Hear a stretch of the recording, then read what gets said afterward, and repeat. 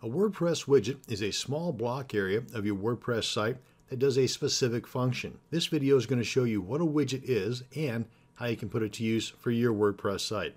Now, not all WordPress themes support widgets, but most of them do. And for the themes that do support widgets, there are what's called widget ready areas that you can have your widgets in. Usually this widget ready area is in the sidebars, but depending upon the theme, it can also be in the header area, the footer area, and even below the content area. I've even seen it where it's inside of the content area as well. Now there's two different areas that you can go to to manage your widgets. And to do that, you need to log into the dashboard area, and I've already done that here.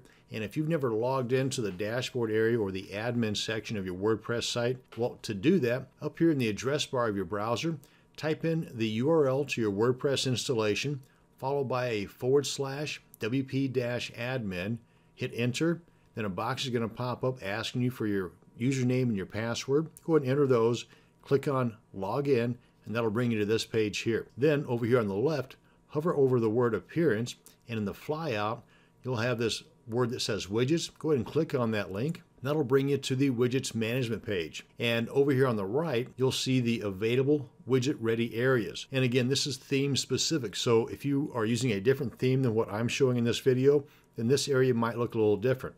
But here under the primary sidebar, which is right here, we have these various widgets already active. The content sidebar on this particular theme is over here on the right, which currently is not displayed because, well, there's nothing in there.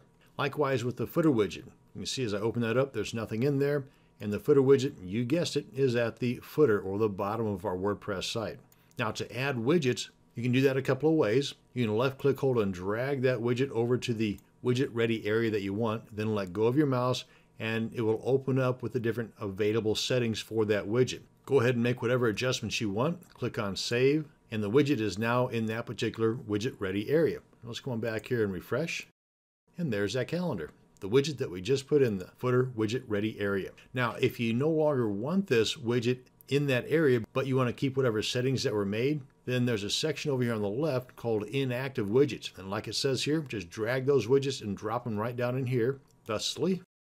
And those settings will be maintained. So if sometime in the future you want to add that widget to another area or even back to the same area that it was in, then you won't have to worry about reconfiguring whatever settings there were in there. So that's one way, left click, hold and drag. Another is simply to left click and you'll get this drop down that displays the different widget ready areas and all you have to do is just left click on that, click on add widget, and it's that simple. Then whatever adjustments you do make in here, be sure to click on save, otherwise you're not going to take. Let's go ahead and get rid of this one because if I no longer want this in that widget ready area, and don't care to save any of the settings, just click on delete. Boom, gone. So that's one area in which you can manage the different widgets, adding, removing, and saving. Another area is by coming up here and clicking on Manage in Customizer.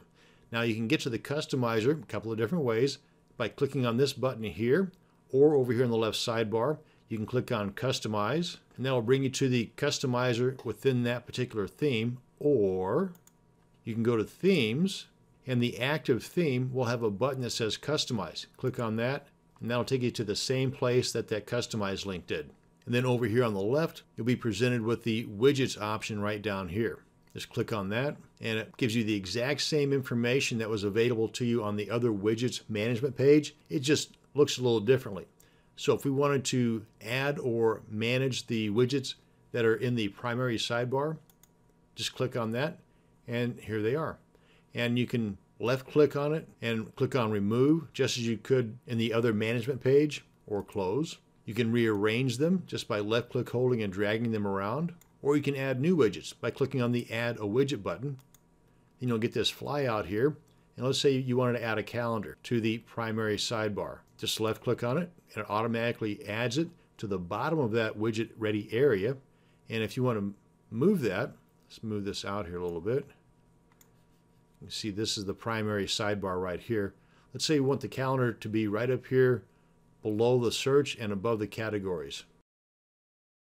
Right there we go. And you get a live preview of it right here. Now if any of these adjustments look good to you, great. All you have to do is click on save and publish. Come on back here and refresh.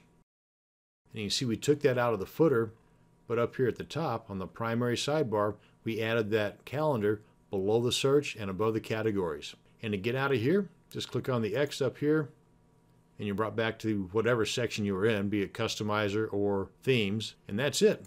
That's going to bring us to the end of this video on the WordPress widget. Thanks for watching and you have a great day.